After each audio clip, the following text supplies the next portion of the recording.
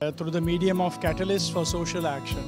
Uh, he is actually acting very well. This is a wonderful activity that is being undertaken where the, the motto is to provide a family for every child.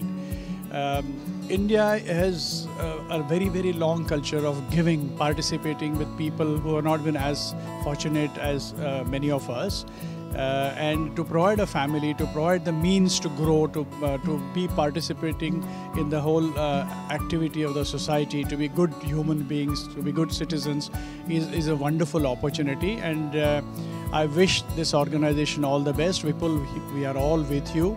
I will, I will participate in this particular action wholeheartedly. All the best and uh, much more to come. Thank you.